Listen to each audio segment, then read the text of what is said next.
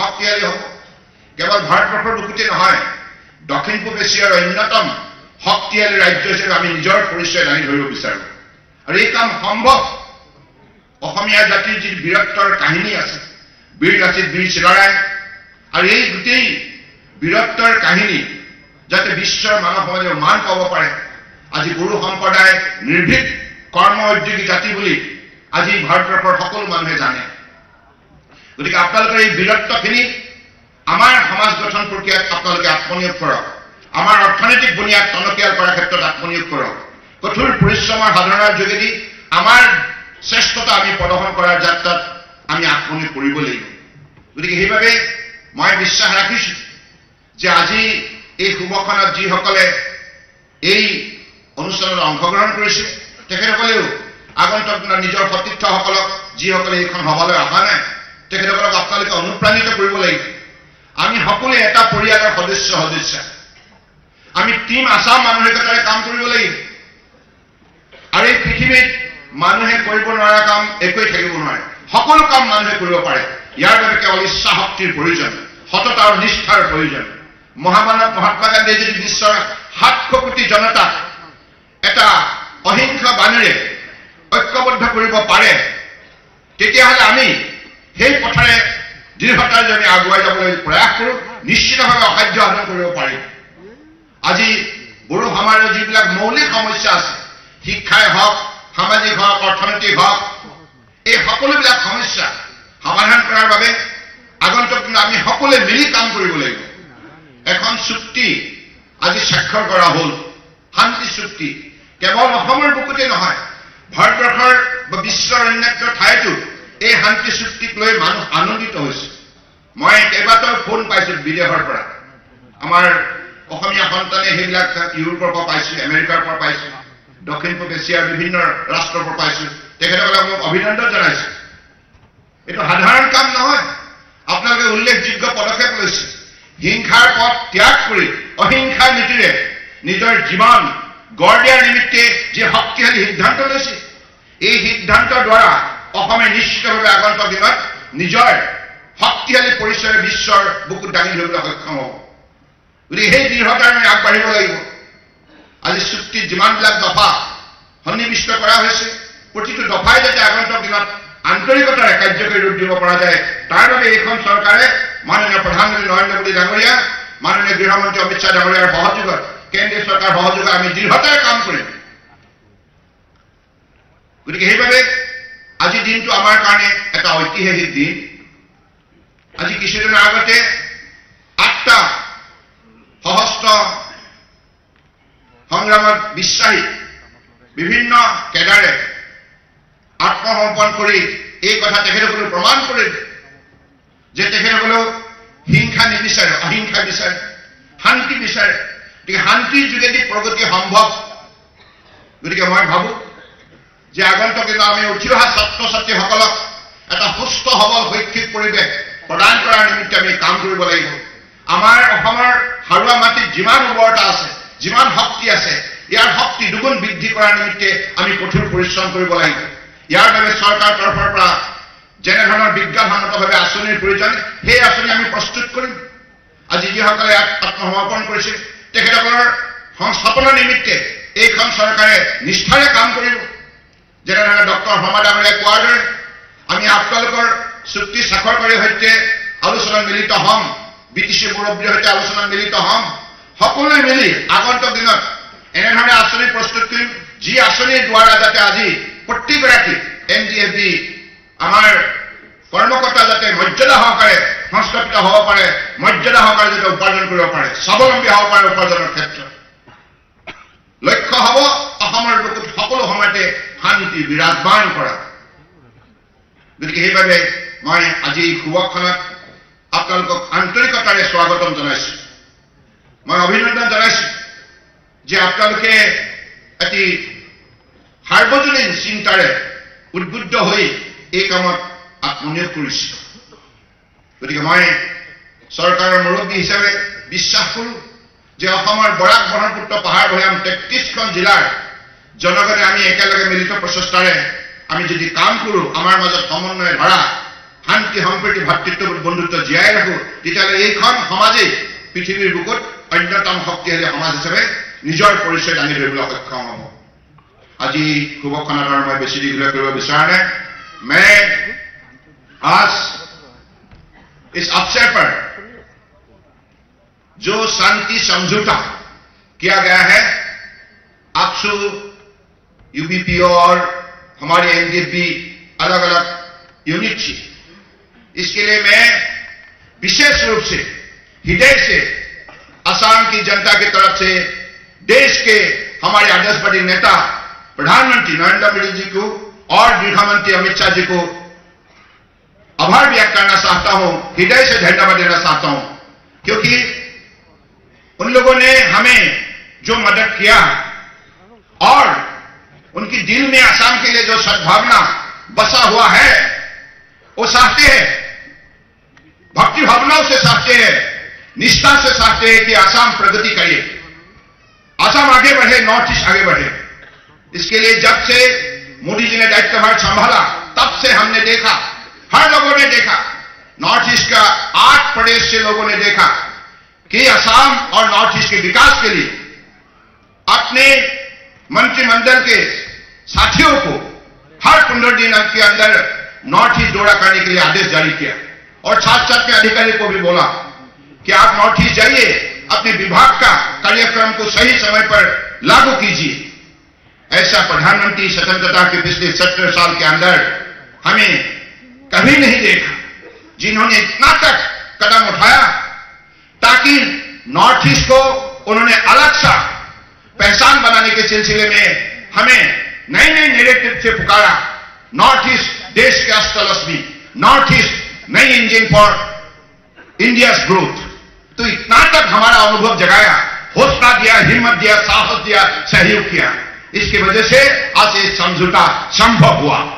तो इसलिए हमें सबको मिलकर एक साथ मेहनत करना होगा। अगर मेहनत हम निष्ठा से करेंगे कठोर परिश्रम करेंगे तो परिवर्तन हमारी जिंदगी में संभव होगा গতিকে সেইবাবে পৰম আদৰণীয় প্ৰধানমন্ত্ৰী ডাঙৰীয়াই গৃহমন্ত্ৰী ডাঙৰীয়াই যিমানখিনি উত্তৰ পূৰ্বাঞ্চলৰ উন্নয়নৰ বাবে শক্তিশালী পদক্ষেপ লৈছে তাৰ বাবে আজি আমি এটা সুযোগ পাইছো গতিকে এই সুযোগটো আমি কোনো কাৰণত হেৰুৱাব নালাগে এই সুযোগটো সদব্যৱহাৰ কৰিব লাগিব this is a golden opportunity for our growth for our unity of living कितना बड़ा संदेश हम देशवासियों को दे सकता है। हम एक है। भारत माता की। भारत माता की। यही हमारा स्लोगन होना चाहिए। ये भारत शेष भारत। इसी लक्ष्य को हासिल करने के लिए हमें हर व्यक्ति को मेहनत करना होगा।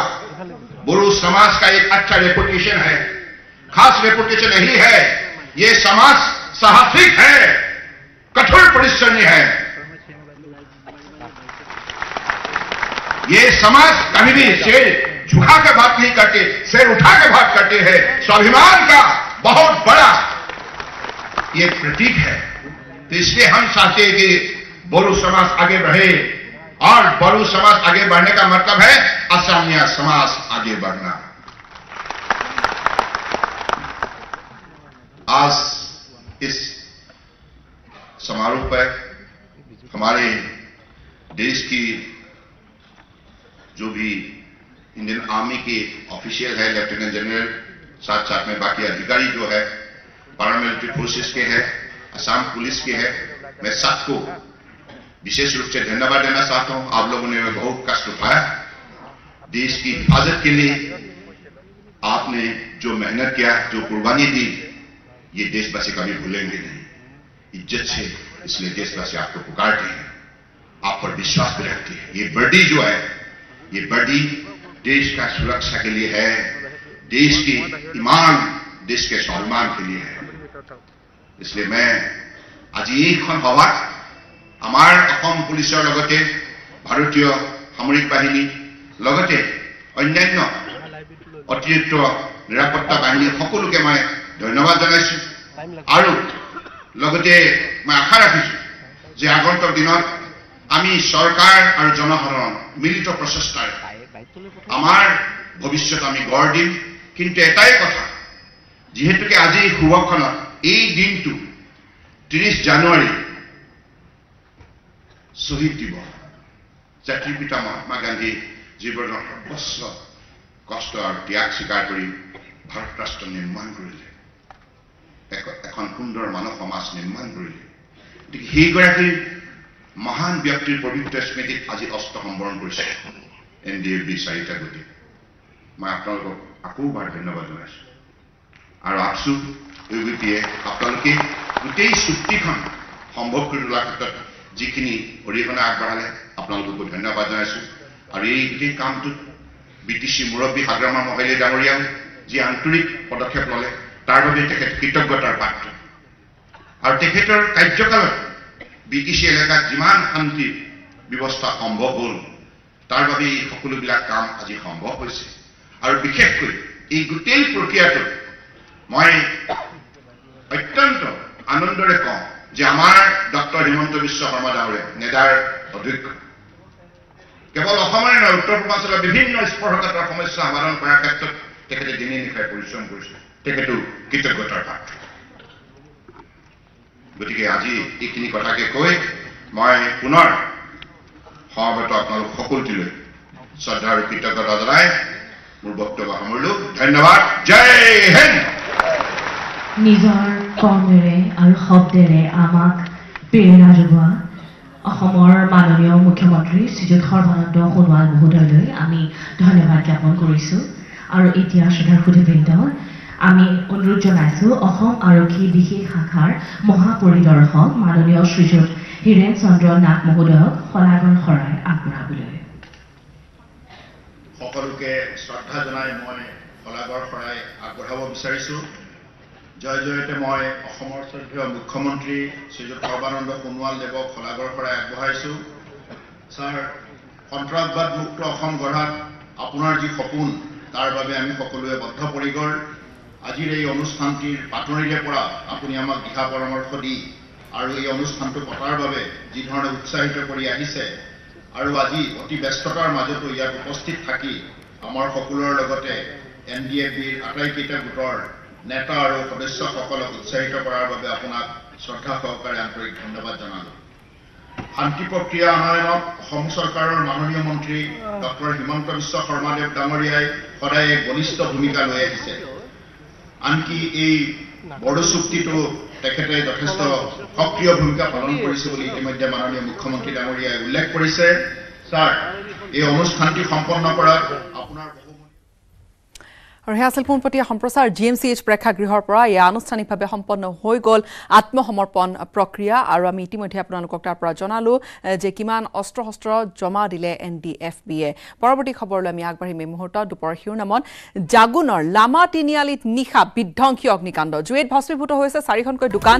দুটাকৈ চিলিণ্ডাৰ বিস্ফোৰিত হ'ল আৰু চিলিণ্ডাৰ বিস্ফোৰণৰ ফলতে ভয়ংকৰ ৰূপ ধাৰণ কৰিলে জুয়ে ব্যৱসায়িক প্ৰতিষ্ঠানত দুৰ্বৃত্তই অগ্নি সংযোগ কৰা সন্দেহ কৰা হৈছে। অগ্নিকাণ্ডৰ সময়ত দোকানৰ ভিতৰত শুই আছিল দুজনকৈ লোক অগ্নিকাণ্ডত এজন লোক আহত হৈছে। জাগুনৰ খবৰ জাগুনৰ লামা তিনিআলি অঞ্চল য'ত নিশা লাগিল বিধ্বংসী জুই জুইত ভস্মীভূত হৈছে চাৰিখনকৈ ব্যৱসায়িক প্ৰতিষ্ঠান। দোকান চাৰিখনকৈ সম্পূৰ্ণৰূপে জ্বলি পুলি চাৰখাৰ হৈ গৈছে। দুটাকৈ চিলিণ্ডাৰ বিস্ফোৰণৰ ঘটনা আৰু তাৰ পিছতে অধিক ভয়ংকৰ ৰূপ ধাৰণ কৰিলে জুয়ে প্ৰতিষ্ঠানখনত দুৰ্বৃত্তই অগ্নিসংযোগ কৰাৰ সন্দেহ কৰা হৈছে।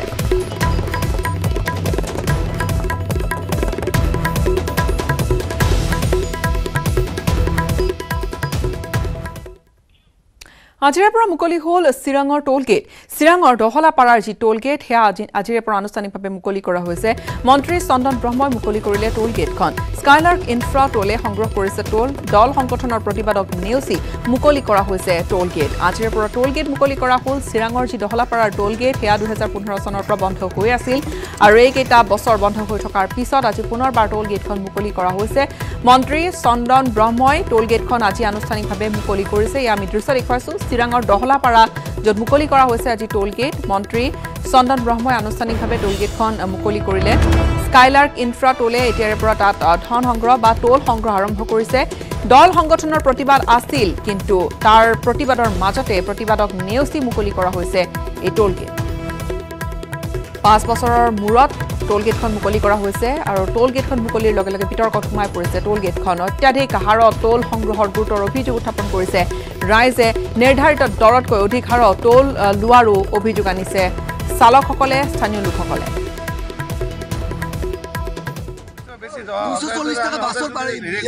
লাইনৰ গাড়ী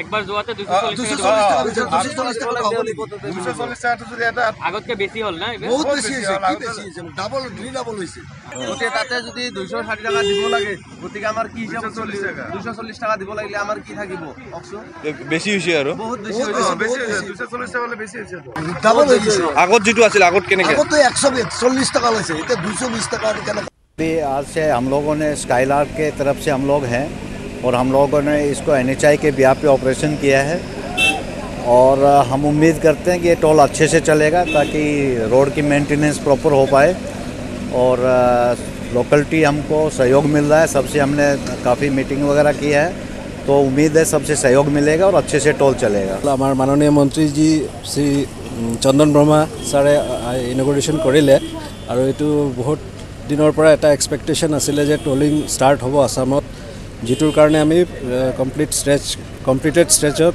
আমি মেইনটেনেঞ্চ কৰিব পৰা নাছিলোঁ। With successful implementation of this tolling operation আমি ফেজ ৱাইজ গৈ গৈ টলিং ষ্টাৰ্ট কৰিম। আৰু একৰ্ডিংলি আমি মেইনটেনেঞ্চ ৱৰ্কো কমপ্লিট কৰিম উত্তৰ পূবৰ ক্ৰীড়া প্ৰেমীসকললৈ আছে এটা ভাল খবৰ এটা সুখবৰ কঢ়িয়াই আনিছে মণিপুৰে। বিদেশী মহিলা ফুটবল ক্লাবত স্থান লাভ কৰিছে মণিপুৰৰ বালা দেৱীয়ে। বিদেশী মহিলা ফুটবল দলত স্থান লাভ কৰা বালা দেৱীয়ে হৈছে প্ৰথমগৰাকী ভাৰতীয় মহিলা ফুটবলাৰ। বুধবাৰে স্কটিছ ক্লাব ৰেঞ্জাৰ্ছ ফুটবল ক্লাবে ঘোষণা কৰিছে বালা দেৱীৰ নাম। আৰু এই খবৰে সমগ্ৰ ভাৰতবৰ্ষৰে ফুটবল প্ৰেমীসকলৰ লগতে মণিপুৰৰ ক্ৰীড়া অনুৰাগীসকলক যথেষ্ট উৎফুল্লিত কৰি তুলিছে।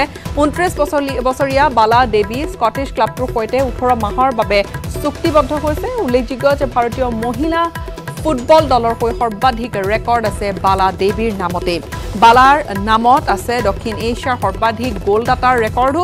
ইয়াৰোপৰি বালাই ঘৰুৱা খেলতো শতাধিক গ'ল স্ক'ৰ কৰাৰো ৰেকৰ্ড আছে। স্কটিছ ক্লাব ৰেঞ্জাৰ্ছ ফুটবল ক্লাবত স্থান লাভ কৰাত যথেষ্ট উৎসাহিত হৈ পৰিছে ভাৰতীয় তাৰকা মহিলা ফুটবল ফুটবলাৰগৰাকী।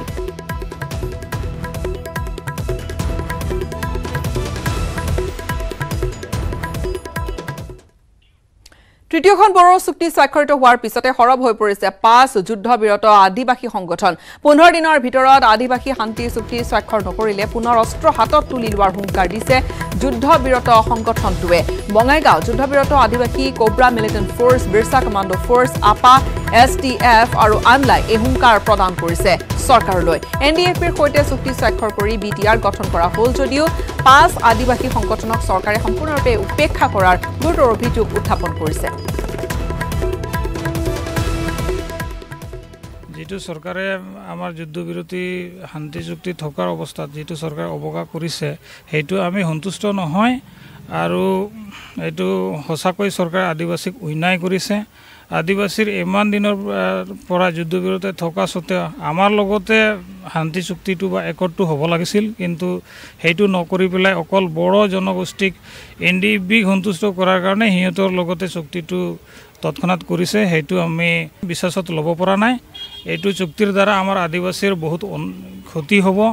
যদি চৰকাৰে সম উন্নয়ন বা সকলো জাতি উন্নয়নৰ কথাটো যদি চিন্তা কৰিছে তেনেহ'লে আদিবাসীৰ লগত শীঘ্ৰে শান্তি চুক্তিটো হ'ব লাগে একতটো কৰিব মায়াঙত উদ্ধাৰ কৰা হৈছে গুৱাহাটী হাতীগাঁৱৰ ব্যৱসায়ী ভাস্কৰ জ্যোতি নেওগৰ মৃতদেহ। দুৰ্বৃত্তই হত্যা কৰি বস্তাত ভৰাই মায়াঙৰ পেটেকীবাৰী গাঁৱৰ মৰিসুঁটিৰ এখন দলঙৰ তলত পেলাই দিছিল মৃতদেহটো। পঁচিছ জানুৱাৰীৰ ঘটনা পঁচিছ জানুৱাৰীৰে পৰা নিৰুদ্দিষ্ট হৈ আছিল ভাস্কৰ নেওগ আৰু পৰিকল্পিত হত্যাকাণ্ডৰ বলি হ'ল গুৱাহাটী হাতীগাঁৱৰ যুৱ ব্যৱসায়ী ভাস্কৰ জ্যোতি নেওগে সন্দেহ কৰা হৈছে। ঘটনা সন্দৰ্ভত জানিব পৰা মতে জাগিৰোড থানাৰ অন্তৰ্গত ঝাৰগাঁও অঞ্চলৰ শিমলুটোলা গাঁৱৰ দিলীপ বৰ্মন নামৰ এজন লোকে ভাস্কৰ জ্যোতি নেওগৰ পৰা ভাড়াত আনিছিল দুখনকৈ এক্সকেভেটাৰ জে চি বি বাহন দুখন। আৰু এই জে চি বি বাহন দুখনৰ ভাড়া আদায় ল'বলৈ পঁচিছ জানুৱাৰীত মায়াঙলৈ গৈছিল ভাস্কৰ। কিন্তু সেই দিনটোৰে পৰা সেইদিনা সন্ধিয়াৰ ভাগৰে পৰা মোবাইল ফোন বন্ধ হৈ পৰিছিল ভাস্কৰ নেওগৰ আৰু তাৰ পিছতে নিৰুদ্দিষ্ট হৈ আছিল যুৱ ব্যৱসায়ীজন কোনো সুমূত্ৰ নাছিল যুৱকজনৰ আৰু এই সন্দৰ্ভত পৰিয়ালৰ লোকে হাতীগাঁও থানাত দাখিল কৰিছিল এখন এজাহাৰ। ঘটনা সন্দৰ্ভত বিগত দুটা দিন ধৰি মাং আৰক্ষীয়ে ধৃত দিলীপ বৰ্মনক আটক কৰি অব্যাহত ৰাখিছে জেৰা।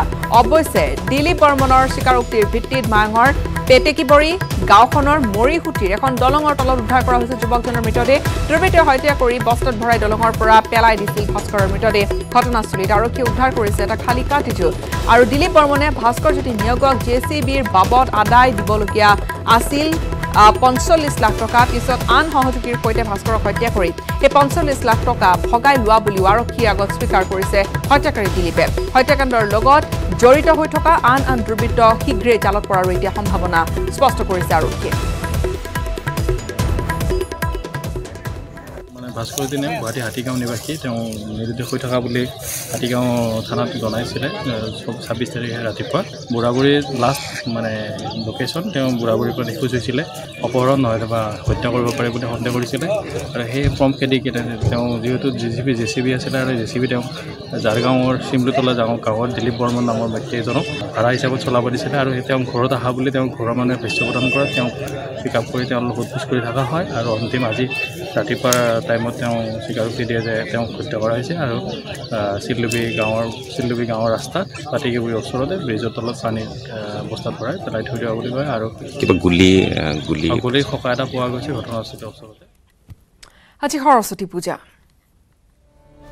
আজিৰ পৰা আৰম্ভ হ'ব নগাঁৱৰ চাপানালাত ঐতিহাসিক চম্পাৱতী কুণ্ড মেলা। প্ৰত্যেক বছৰে মাঘী সপ্তমীৰ দিনটোৰ পৰা আৰম্ভ হৈ আহিছে এই মেলা। চাপানালাৰ এই চম্পাৱতী কুণ্ড মেলাই বিশেষ চিনাকিও বহন কৰি আহিছে। অসমৰ পৰ্যটকসকলৰ মাজত প্ৰত্যেক বছৰে মাঘী সপ্তমীত হাজাৰ হাজাৰ লোকে ভিৰ কৰে চাপানালাৰ এই পবিত্ৰ কুণ্ড মেলাস্থলীত। কছাৰী ৰজা সংসদ ধ্বজৰ দিনৰে পৰা চলি আহিছে এই প্ৰথা আৰু এই মেলা সেই তেতিয়াৰে পৰা অনুষ্ঠিত হৈ আহিছে প্ৰতি বেলিকা। লোকপ্ৰবাদ আছে কছাৰী ৰজা সংসদ ধ্বজৰ জীয়ৰী চম্পাৱতী স্নান কৰিবলৈ আহি এই জলপ্ৰপাততে বিলীন হৈ পৰিছিল আৰু সেয়েহে এই জলপ্ৰপাতৰ নাম হ'ল গৈ পৰৱৰ্তী সময়ত চম্পাৱতী। আন একাংশৰ মতে আকৌ চম্পাৱতীৰ চকুৰ পানীৰে সৃষ্টি হৈছিল এই জলপ্ৰপাতৰ। চম্পাৱতীৰ জলপ্ৰপাতৰ পানীত মাঘী সপ্তমীৰ দিনা স্নান কৰিলে পাপ খণ্ডন হয় বুলি এটা লোকবিশ্বাস চলি আহিছে সকলোৰে মাজত আৰু সেই লোকবিশ্বাস অনুসৰি বিভিন্নজনে এই বিশেষ দিনটোৰ বা এই মেলাৰ সময়ছোৱাত তাত স্নান কৰিবলৈ ভিৰ কৰা দেখা যায়। চম্পাৱতী কুণ্ড আৰু আজি কালিৰ পৰা হ'ব আমাৰ মাঘী সপ্তমী মেলা চম্পাৱতী আৰু মেলা লাগিছে আপোনালোকে দেখি পাইছে নিশ্চয়। আমাৰ ইয়াত প্ৰচিদ্ধি চলি আছে বিভিন্ন জেগাৰ পৰা দোকান দোকান বজাৰ আহিছে ঘাট আহিছে। আৰু লগতে এইবাৰ আমাৰ আকৌ মীনা বজাৰো আহিছে। মানুহৰ সমাগমটো কম হৈছে। কিন্তু কম হৈছে যদিও কি কৰিব পৰিস্থিতিটোৱে কৰি দিছে। আমাৰ ক'বতো লাগিবই। কেবে আমাক কেবে বৰবাদ কৰি দিছে বুলি ক'ব লাগিব। কেব আমি নামানো। আৰু ৰাইজক আমি সমাগম লাগে আগতো গৈছিলোঁ। অলপ বেগদি হ'লেও আমাৰ অহাকালিৰ পৰা আমাৰ ইয়াতে মাঘী সপ্তমী মেলা লাগিছে। ৰাইজে সকলোৱে আহক। আমি নিশ্চয় সহায় এখন ব্যতিক্ৰমী সৰস্বতী পূজা। মঙলদৈৰ ঔতলা উচ্চতৰ মাধ্যমিক বিদ্যালয়ৰ সৰস্বতী পূজাখন এইকাৰণেই ব্যতিক্ৰম কিয়নো পূজাৰ দেৱীৰ মৃন্ময় মূৰ্তি নিজ হাতেৰে নিৰ্মাণ কৰিছে। বিদ্যালয়খনৰে অষ্টম শ্ৰেণীত পঢ়ি থকা কিশোৰ ছাত্ৰ মানসজ্যোতি ডেকাই। মঙলদৈ ঔতলাৰ বেচিমাৰী গাঁৱৰ বুলেন ডেকাৰ একমাত্ৰ সন্তান মানস সৰুৰে পৰা নৃত্য চিত্ৰকলাৰ প্ৰতি যথেষ্ট আকৃষ্ট। দুখীয়া পৰিয়ালটোৰ সন্তানজনে কোনো প্ৰশিক্ষণ অবিহনে কেৱল নিজৰ ধ্যান ধাৰণাৰে সাজি আহিছে নানা দেৱ দেৱীৰ মূৰ্তি। এইবেলিকা নিজ বিদ্যালয়ৰ সৰস্বতী পূজাৰ মূৰ্তি নিজ হাতেৰে তৈয়াৰ কৰি দান কৰিছে ছাত্ৰজনে। প্ৰায় এমাহজোৰা প্ৰচেষ্টাৰ অন্তত ছাত্ৰজনে সাজি উলিয়াইছে দেৱীৰ প্ৰতিমা খেৰ মাটি চিমেণ্ট আৰু ৰং ব্যৱহাৰ কৰিয়ে কোনো প্লাষ্টিক ব্যৱহাৰ নকৰি নিৰ্মাণ কৰি উলিওৱা হৈছে এই মূৰ্তিটো। ভৱিষ্যতে এগৰাকী বিখ্যাত চিত্ৰশিল্পী হোৱাৰ হেঁপাহ মনত পুহি ৰাখিছে এই খুব প্ৰতিভাধৰ এইগৰাকী ছাত্ৰ মানসজ্যোতিয়ে মঙলদৈৰ পৰা আগবঢ়াইছে আমাৰ সাংবাদিক নৱজ্যোতি মহন্তৰ এক প্ৰতিবেদন। নিশ্চয়কৈ আজি বিদ্যাৰ অধিষ্ঠাতী দেৱী সৰস্বতী পূজা আৰু সৰস্বতী পূজাৰ দিনটোত আমি উপস্থিত আছোঁ মঙলদৈ ঔতলাৰ ঔতলা উচ্চতৰ মাধ্যমিক বিদ্যালয়ৰ যিখন বিদ্যালয়ত এইবাৰ অষ্টমমান শ্ৰেণীৰ ছাত্ৰগৰাকীয়ে এটি সৰস্বতী মূৰ্তি তেওঁ নিৰ্মাণ কৰি উলিয়াইছে। আমি ছাত্ৰজনক দেখুৱাম। ৰমেশে দেখুৱাব এজন ছাত্ৰ মানসজ্যোতি ডেকা অষ্টমমানৰ এজন ছাত্ৰই। যি এই বিদ্যালয়খনত যি সৰস্বতী পূজা আয়োজন কৰিছে এই সৰস্বতী পূজাৰ যি মূৰ্তি এই মৃন্ময় মূৰ্তি তেওঁ নিৰ্মাণ কৰি উলিয়াইছে মূৰ্তিটো দেখুৱাইছোঁ আমি। যিটো মূৰ্তি এই অষ্টমমান শ্ৰেণীৰ ছাত্ৰগৰাকীয়ে নিজে তেওঁ নিৰ্মাণ কৰি উলিয়াইছে। আৰু লগতে পৰিৱেশ দেখুৱাইছোঁ। এয়া বিদ্যালয়খনৰ পৰিৱেশ। সকলোৱে যি সৰস্বতী বন্দনাত মুখৰ হৈ পৰিছে বুলি ক'বলৈ বিদ্যালয়খন সকলো ছাত্ৰ ছাত্ৰীয়ে তেওঁলোকে সৰস্বতী বন্দনা গাইছে। আমি সৰস্বতী বন্দনা শুনিব বিচাৰিম।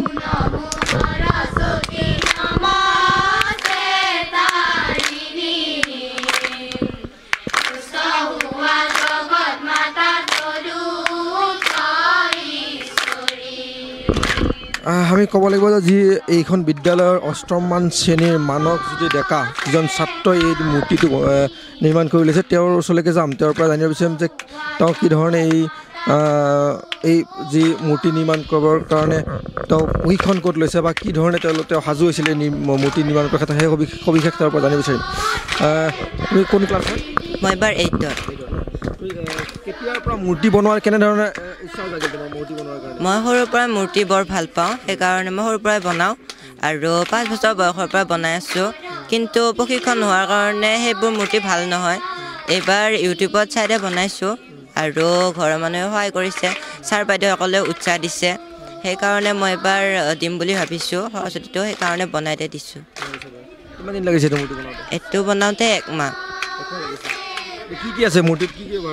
এইটো মূৰ্তিত খেৰ মাটি আৰু চিমেণ্ট আৰু ৰং ব্যৱহাৰ কৰিছোঁ। ইয়াতে কোনো কাপোৰ ব্যৱহাৰ কৰা হোৱা নাই? আৰু কি কি মূৰ্তি বনাইছিলা আগতে? সৰস্বতী দুৰ্গা এইবিলাক বনাইছিলোঁ সৰু সৰুকৈ। তেতিয়া ভাল হোৱা নাছিল প্ৰশিক্ষণ লোৱা নাছিলোঁ। এতিয়া প্ৰশিক্ষণ লৈছা তুমি এইটো বনাওঁতে? এইটো বনাওঁতে প্ৰশিক্ষণ লোৱা নাই ইউটিউবত চাইডে বনাইছোঁ। আৰু কি মন আছে? তোমাৰ যিহেতু এটা সুন্দৰ মূৰ্তি বনাইছা তুমি বিদ্যালয়খনত নিজে মূৰ্তিটো দান কৰিছা। কি ক'বা যে কি বনোৱাৰ মন আছে তোমাৰ? মোৰ ডাঙৰ আৰ্টিষ্ট হ'বলৈ মন আছে আৰু ডাঙৰ আৰ্টিষ্টৰ পৰা শিকিবলৈ মন আছে। মঙলদৈৰ পৰিৱেশ আছিল সেয়া। নিজ হাতেৰে তৈয়াৰ কৰা প্ৰতিমা তেওঁ নিজৰ বিদ্যালয়খনত দান দিছে আৰু সেই প্ৰতিমাতেই পূজা অৰ্চনা কৰিছে। সেই বিদ্যালয়খনৰ আন আন শিক্ষাৰ্থীসকলে। খুব সুন্দৰ এটা পৰিৱেশ সেই বিদ্যালয়খনত এই মুহূৰ্তত আমি দেখুৱালোঁ পৰিৱেশ। আৰু এতিয়া আপোনালোকক লৈ যাবলৈ বিচাৰিছোঁ দৰ্শকক লৈ যাব বিচাৰিছোঁ সন্দিকৈ পৰিৱেশ দেখুৱাবলৈ। সন্দিকৈ মহাবিদ্যালয়ত দেখা গৈছে পুৱাৰ ভাগৰে পৰা খুব আধ্যাত্মিকতাৰ এটা পৰিৱেশ আৰু সকলোৱে সাজি কাচি দেৱীৰ চৰণত পুষ্পাঞ্জলি অৰ্পণ কৰিছে। শ্ৰদ্ধা নিবেদন কৰিছে মূৰ দুৱাইছে চৰণত যাতে আগন্তুক যি বৰ্ষ পঢ়া শুনাৰ ক্ষেত্ৰত যাতে কোনো আহ, অসুবিধা আহি নপৰে বা সকলোৱে যাতে ভালদৰে এই বছৰটো পাৰ কৰিব পাৰে। মৌচুমী শৰ্মা বৰুৱা আমাৰ সাংবাদিক সন্দিকৈত আছে এই মুহূৰ্তত? মৌচুমী তাত দেখা যায় সন্দিকৈ মহাবিদ্যালয় হওক বা আন আন গুৱাহাটী মহানগৰী কলেজসমূহে হওক এটা উখল মাখল পৰিৱেশ সৰস্বতী পূজাৰ দিনটোত সদায় থাকে।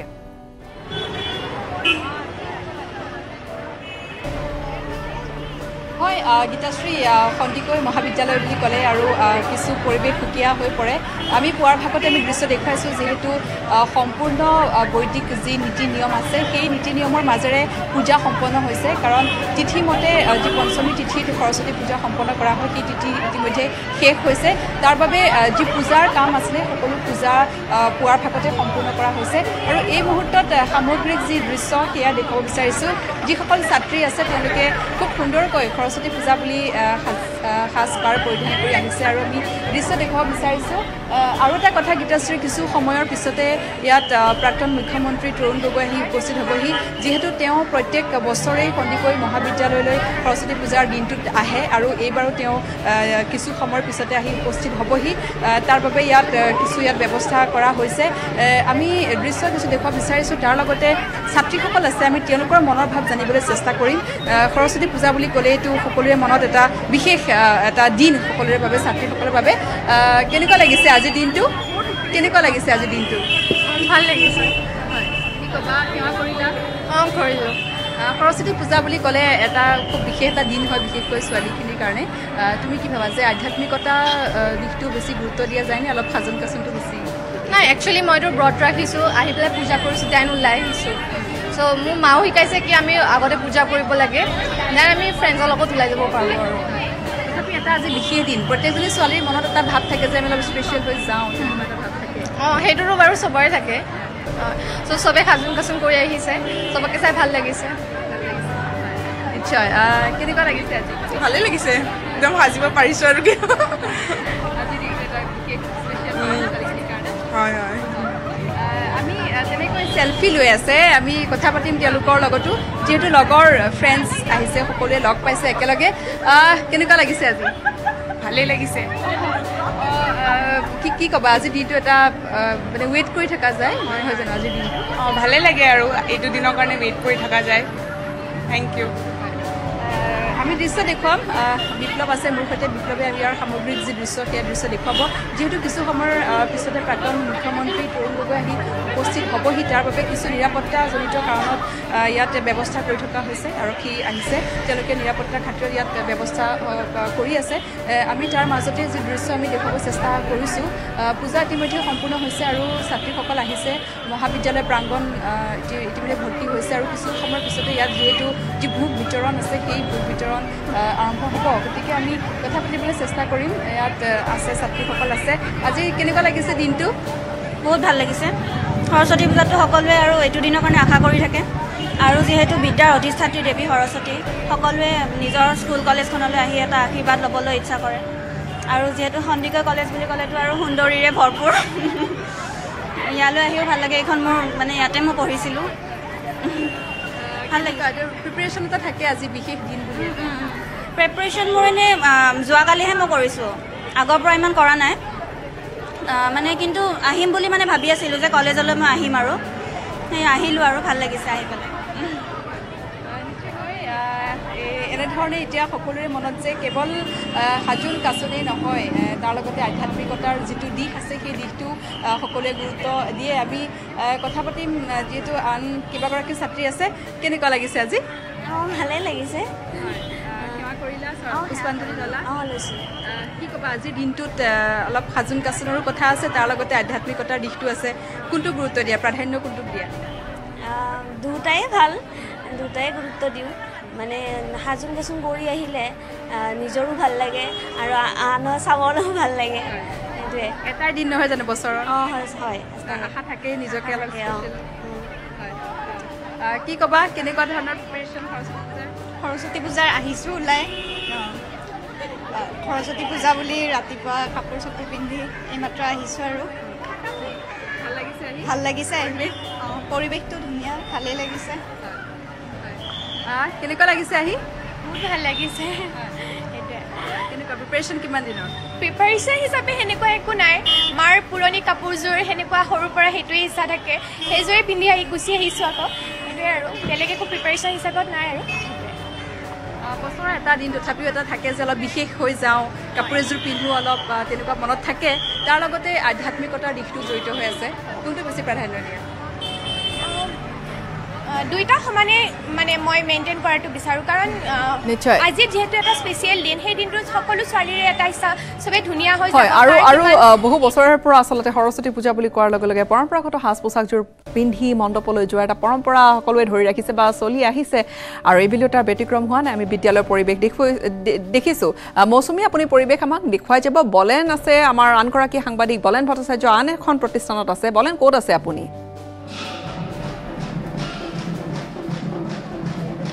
গীতাশ্ৰী এই মুহূৰ্তত উপস্থিত আছোঁ আৰ্য বিদ্যাপীঠ মহাবিদ্যালয়ত আৰু দেখিব পোৱা গৈছে ইতিমধ্যে বাঘ বন্ধনেৰে মুখৰিত হৈছে সমগ্ৰ মন্দিৰ প্ৰাংগণ চৌহদ আৰু দেখিব পোৱা গৈছে যে এই মুহূৰ্তত সকলো ওলাই আহিছে সকলো শিক্ষাৰ্থী আহিছে আৰু দেখিব পোৱা গৈছে একে সমানে এই মুহূৰ্তত অঞ্জলি দি থকা হৈছে আৰু তাৰ কাৰণে বিশেষকৈ অধীৰ আগ্ৰহেৰে ৰৈ থকা এইসকল শিক্ষাৰ্থী এইসকল যিসকল শিক্ষানুষ্ঠানত শিক্ষা গ্ৰহণ কৰি আছে সেইসকলে এই মুহূৰ্তত তেখেতসকলৰ নিজস্ব পৰম্পৰাগত সাজপাৰ পৰিধান কৰি এই মুহূৰ্তত সকলোৱে অঞ্জলি ল'বলৈ আহিছে আৰু এক সকলোৰে আনন্দমুখৰ পৰিৱেশ আৰু কিয়নো সকলোৱে অপেক্ষা কৰি থাকে। গতিকে অকণমান কথা ক'বলৈ চেষ্টা কৰিম এই মুহূৰ্তত। সেৱা কৰিলে। নাই কৰিম এতিয়া। কেনেকুৱা? সৰস্বতী পূজা বুলি ক'লে বিশেষকৈ যুৱতীসকলৰ গাত বেছিকৈ লাগে। হয়। মাৰ আচলতে যি কোৱা যে সৰস্বতী আচলতে দেৱী সৰস্বতী নহয় এই যিসকলে প্ৰাৰ্থনা কৰিব সেইসকল যুৱতীও আচলতে সৰস্বতীৰ জ্ঞান গুণেৰে আচলতে সুশোভিত হ'ব লাগে। এতিয়া সৰস্বতী পূজা বুলি ক'লে গাটো কিবা ভাল লাগে আৰু। এতিয়া অঞ্জলিটো লওঁ আৰু চাওক অঞ্জলি লৈ পেলাই এক্সাইটমেণ্ট থাকে। অঁ বহুত। বিশেষকৈ বহু এই মুহূৰ্তত আমি শিক্ষাৰ্থী দেখিব পাইছোঁ। ভণ্টি অকণমান আহিবা কথা কথা পাতিম। কেনেকুৱা লাগিছে? বহুত ভাল লাগিছে। পূজা বুলি ক'লে আচলতে যুৱতীসকলৰ গাত বেছিকৈ পৰে হয় হয় নিশ্চয় হয়। সেৱা কৰিলানে? সেৱা কৰা নাই ৰৈ আছোঁ কৰিব পৰা নাই। বহুত ভিৰ চলি আছে সেইকাৰণে কৰিব পৰা নাই। যুৱকসকলো কোনো কাৰণে কম নহয় তেখেতসকলেও নিজেই পৰম্পৰাগত যুৱতীসকলে যি ধৰণৰ পৰম্পৰাগত সাজপাৰ পৰিধান কৰি আগবাঢ়ে ঠিক একেদৰে দেখিব পোৱা যায় যে যুৱকসকলো একেই। কি কয় আজিৰ দিনটোত কোন আচলতে ওপৰত যুৱতীসকল নে ছোৱালী? আজিৰ দিনটো একচুৱেলি আমি পূজা পূজা হিচাপত ৰাখিব লাগে মোৰ মতে। আৰু আপোনালোকে দেখিছে আমাৰ কলেজে আমাৰ সংস্কৃতিকো আমি জীয়াই ৰাখিব লৈছোঁ। আৰ্য বিদ্যাপীঠ কলেজে নিজৰ সংস্কৃতিক জীয়াই ৰাখিব বিচাৰিছে। আৰু আজি দেখিছে আমি সৰু এটা প্ৰচেষ্টা আগবঢ়াইছোঁ। আমি হাতত লৈছোঁ থিয় নাম পাতিছোঁ।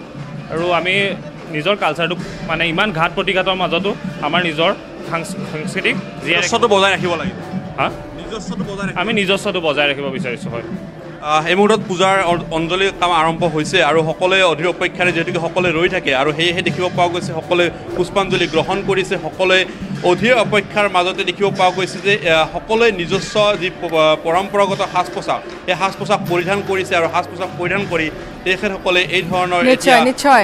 আৰু বাগদেৱীৰ উপাসনা থলীত আহ, এনেকৈ ভিৰ পৰিলক্ষিত হৈছে উপাসনা কৰিছে সকলোৱে ধূপ দীপ নৱদৰে সকলোৱে সেৱা কৰিছে বা মূৰ ডুবাইছে দেৱীৰ চৰণত যাতে বছৰটো সকলোৰে ভালে ভালে যায়।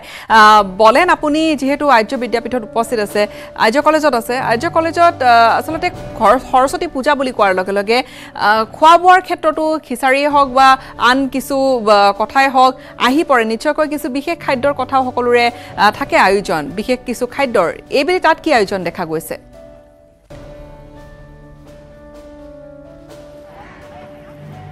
আচলতে কি আয়োজন চলিছে সেয়া আমি পোনে পোনে সেইসকল শিক্ষাৰ্থীৰ ওচৰলৈ যাবলৈ চেষ্টা কৰিম।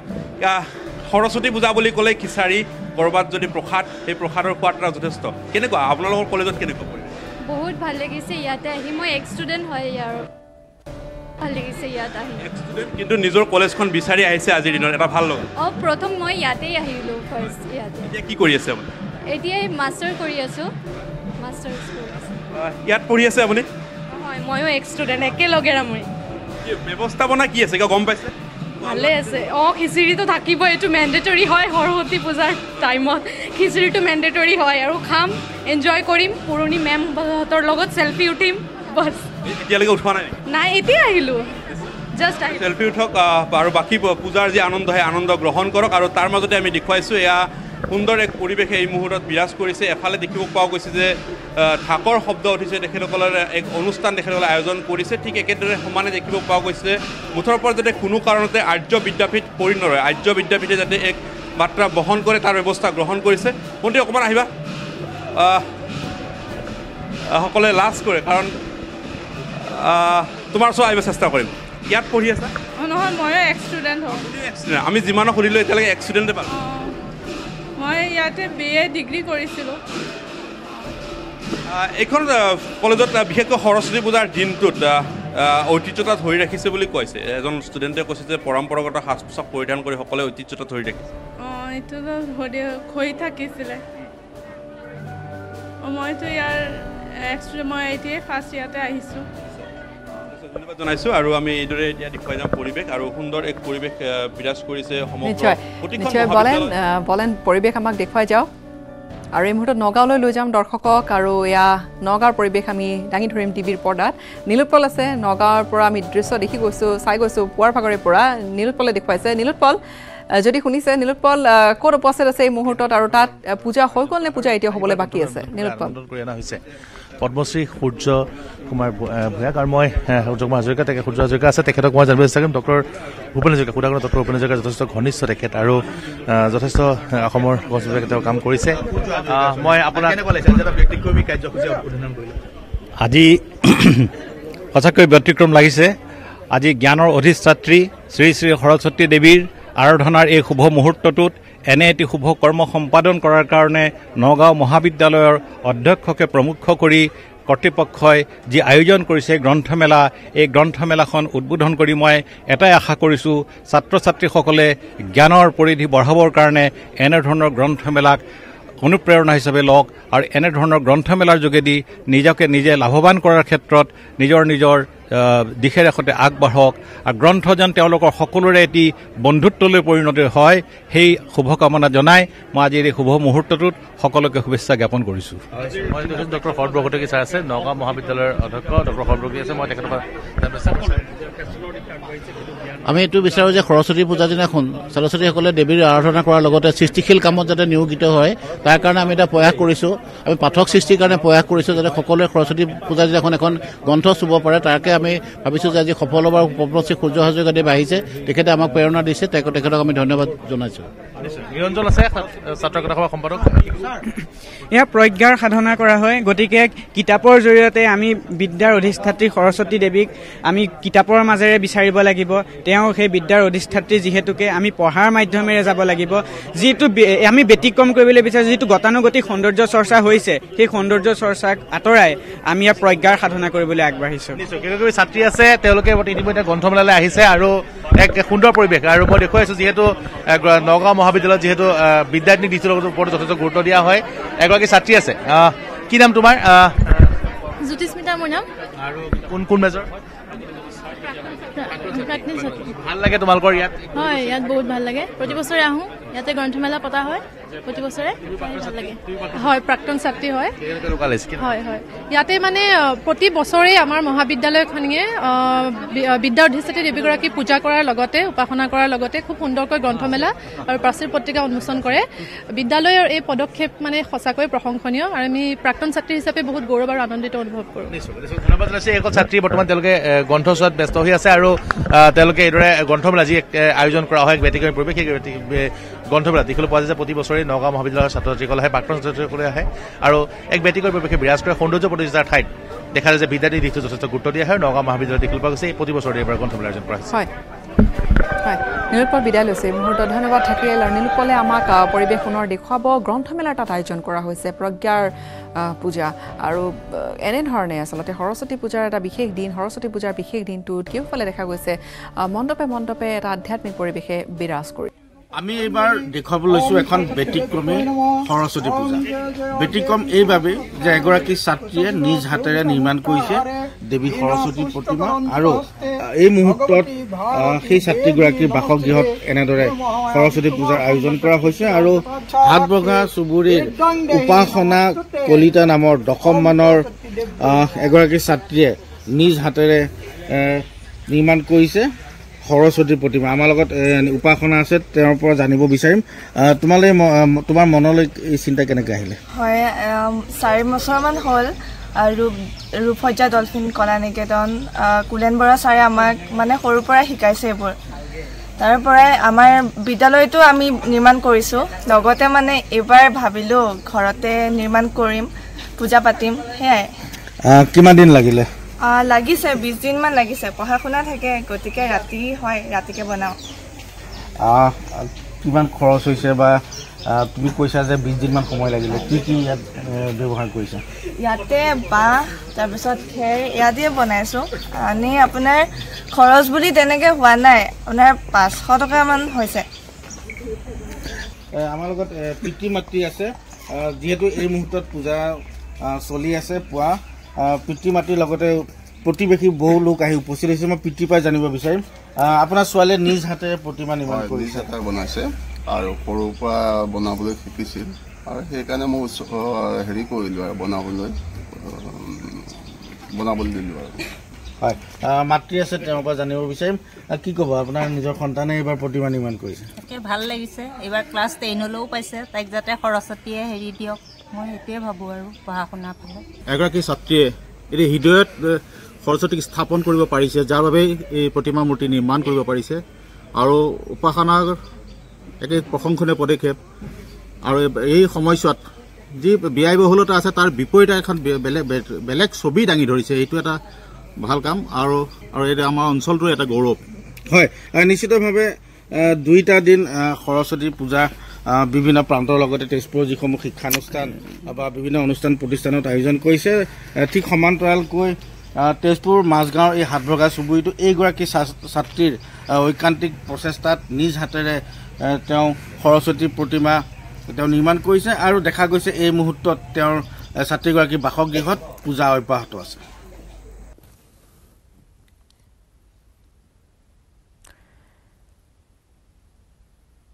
তেজপুৰৰ পৰিৱেশ আছিল। সৰস্বতী পূজা সৰস্বতী পূজা উপলক্ষে তেজপুৰত এইগৰাকী ছাত্ৰীয়ে নিজ হাতেৰে তেওঁ প্ৰতিমা নিৰ্মাণ কৰি উলিয়াইছে আৰু চুবুৰীয়াৰ ভিৰ এতিয়া তেওঁৰ ঘৰখনত। পূজাৰ পৰিৱেশ।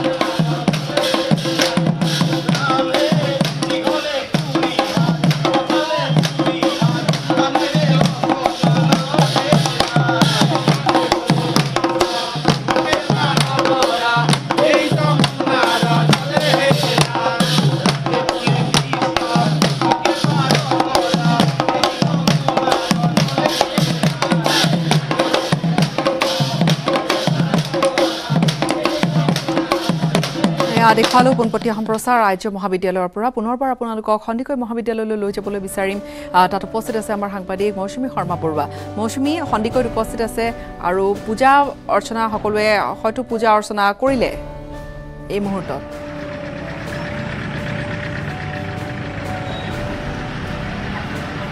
হয় গীতাশ্ৰী আমি যিহেতু পুৱাৰ ভাগতে আমি দেখুৱাইছোঁ যে পূজা অৰ্চনা ইতিমধ্যে শেষ হৈছে পুৱাৰ ভাগতে সম্পন্ন কৰা হৈছে। আৰু তাৰ পাছত আহ, আহ, যি ছাত্ৰীসকল আছে তেওঁলোক আহিছে খুব সুন্দৰকৈ পৰম্পৰাগত সাজপাৰ পৰিধান কৰি আহিছে সকলোৱে। আমি পুৱাৰ ভাগৰ পৰাই আমি দৃশ্যসমূহ দেখুৱাইছোঁ। আৰু তাৰ লগে লগে আজিৰ দিনটোত যিহেতু প্ৰত্যেকগৰাকী ছোৱালীয়ে নিজকে ভাবি অলপ সুন্দৰ দেখুৱাওক তেওঁলোকে সাজি কাচি আহে। আৰু তাৰ লগে লগে আধ্যাত্মিকতাৰ দিশটো কিমান গুৰুত্ব দিয়ে আমি সেই সম্পৰ্কেও আমি তেওঁলোকৰ মতামত আমি গ্ৰহণ কৰিছোঁ। এই মুহূৰ্ততো আছে মোৰ সৈতে কথা পাতিম। কেনেকুৱা লাগিছে আজি সৰস্বতী পূজা বুলি? আজি সৰস্বতী পূজা বছৰটোৰ কাৰণে এদিনে আমি বাট চাই থাকোঁ। আৰু মা সৰস্বতীৰ আৰাধনাৰ কাৰণে এই দিনটো। সেইকাৰণে আমি বিশেষকৈ বিশেষকৈ বহুত বিশেষকৈ নহয় যদিও যিমানখিনি পাৰোঁ আমি প্ৰস্তুত কৰিছোঁ আৰু মাৰ আগত সেৱা জনাই পেলাই অলপমান আশীৰ্বাদ খুজিছোঁ যাতে আমাৰ মানে ভৱিষ্যতো ভাল হয় পঢ়া পঢ়াৰ দিশত আগব- আগবাঢ়ি যাব পাৰোঁ। সেয়ে কামনা কৰিছোঁ। খুবেই ভাল লাগিছে খুবেই ভাল লগা মুহূৰ্ত। আৰু মানে ইমান মানে ৰঙীন ৰঙীন মানে মানুহবিলাক দেখি খুবেই ভাল লাগিছে আৰু। আৰু যিহেতু সৰস্বতী মা যিহেতু বিদ্যাৰ দেৱী আমি তেওঁক এটাই প্ৰাৰ্থনা কৰিম যাতে আমি পঢ়াৰ দিশত সদায় আগবাঢ়ি যাব পাৰোঁ। সদায় যাতে আমাক যাতে আমি পঢ়াৰ দিশত যিবোৰ সপোন ৰচিছোঁ সেইবিলাক সপোন যাতে আমি দিঠকত পৰিণত কৰিব পাৰোঁ। সেইটোৱে আৰু প্ৰাৰ্থনা আৰু তেওঁৰ আগত যিহেতু সৰস্বতী পূজাটো আজিকালি বহুত ধৰণৰ কম্পিটিশ্যন পাতে সুন্দৰীয়ে হওক বা কিবা। এইটো মানে সেইবিলাক মানে সেইটো ভাল জানো? প্ৰতিযোগিতাটো ছাপৰ্ট কৰা? সেইটো মই ছাপৰ্ট নকৰোঁ। এইটো একদমেই নকৰোঁ। এইটো একেবাৰে অপ'জ কৰোঁ আৰু। মানে কেবৰ নিচিনা সেইটো অপ'জ কৰোঁ। কাৰণ কিয়? ইয়াৰ মানে ইয়াৰ জৰিয়তে মানে কিছুমান ছোৱালী মানসিকভাৱে বহুতো দুখ কষ্ট ভোগ কৰিব লগা হয়। আৰু সেইটো আমি কোনো পৰ্যায়ে মানে নিবিচাৰোঁ আৰু। সকলোৱে সুন্দৰ সকলোৱে ভালে থাকক সকলোৱে সুন্দৰ হয় মনটো সুন্দৰ হ'ব লাগে বাহ্যিকতাটো ইম্পৰ্টেণ্ট নহয় আন আভ্যন্তৰীণ দিশটোহে খুব ইম্পৰ্টেণ্ট বস্তু হয়। সেইটোৱে আৰু। খুব সুন্দৰকৈ কৈছা তুমি আভ্যন্তৰীণ দিশটো আচলতে চাব লাগিব বাহ্যিকতা নহয়। কি ক'বা আজি কেনেকুৱা লাগিছে বাৰু? আজি বহুত ভাল লাগিছে চবফালে ইমান ধুনীয়া ধুনীয়া ছোৱালী পৰিৱেশ পৰিৱেশটো বহুত ধুনীয়া হৈ আছে এতিয়া। ভাল লাগিছে। তুমি খুব ধুনীয়া হৈ আহিছা ভাল লাগিছে। গতিকে প্ৰিপেৰেশ্যন কিমান দিনৰ? প্ৰিপেৰেশ্যন বুলি একো নাই ঠিকেই। শাৰীখন কিনিলোঁ হয় আৰু তাতকৈ বেছি একো কৰা নাই।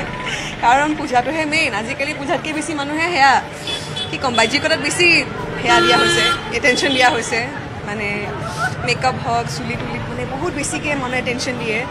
কম্পেয়াৰ টু পূজা চ' পূজাত বেছি এটেনশ্যনটো থাকিলে ভাল। হ'লেও এটা দিন বছৰৰ মন যায় যে অলপ নিজকে স্পেচিয়েলকৈ একজেক্টলি মানে চব ছোৱালী নিজকে ধুনীয়া কৰি তুলিব বিচাৰে। আৰু এইটো দিনত মানে মেইন মানে চবৰে এইটো আশা থাকিছে সৰস্বতী পূজা আহিলে এনেকুৱা এনেকুৱা কৰিম বা এনেকৈ মানে ৰেডি হ'ম। সেইটো কাৰণে মানে চলি যায় আৰু মানে। মডাৰেটলি গ'লে ভাল। মানুহে মেকআপো কৰিব। লাগে মানে ৰেডি মৌচুমী আমি বিদায় ল'ম এই মুহূৰ্তত আপোনাৰ পৰা। সেয়া দেখুৱালো সন্দিকৈ মহাবিদ্যালয়ৰ পৰিৱেশ।